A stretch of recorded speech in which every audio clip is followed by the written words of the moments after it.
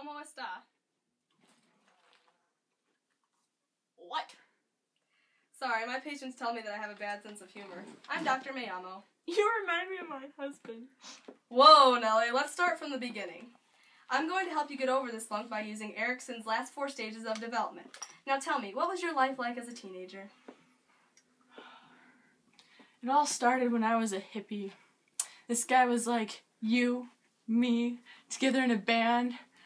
I became a rock star and dropped out of school, leaving my 4.0 GPA behind me.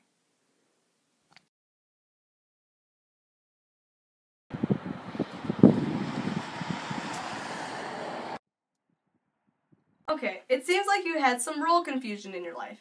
You never established a true identity. You threw your whole life away. That's not very helpful. You're just like the other psychologist I went to. Whoa, Nellie, what happened after you became a rock star? Being the young adult that I was, I realized that I did not know how to play an instrument. So then I became a hobo because my rock star dreams went down in flames. Luckily, a wonderful guy came to the rescue and he soon became my husband. You found your one true love? What was your marriage like? Short! it lasted two years, but it only seems like a day. But then, the incident.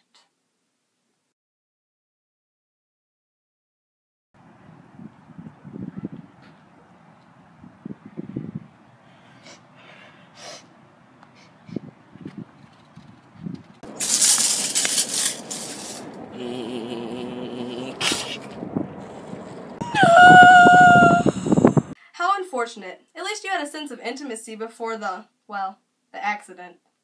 We never got to have children. I see. You became stagnant and concerned with your own needs because you did not have children. Do you feel trapped? After all these years.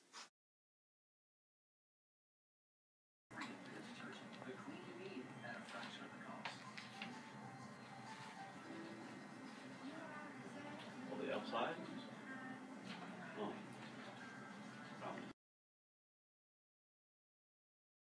Yeah, you're never going to be able to face death with integrity. You've had too much heartbreak in your life. You're going to face death with despair. Sorry, I can't help you. Yeah! Whoa, Nellie! Hmm, where'd that come from?